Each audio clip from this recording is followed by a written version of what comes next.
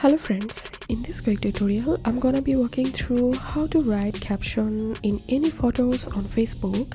But before getting started this video make sure to subscribe how to one so i'm going to clicking on photo and video and i'm going to select here three photos and dragging it here so here we can see three photos have been added and now let's see how to add caption to all photos. So click on edit all.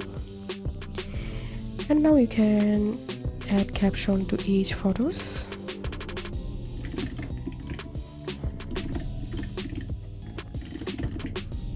And after adding captions click on done.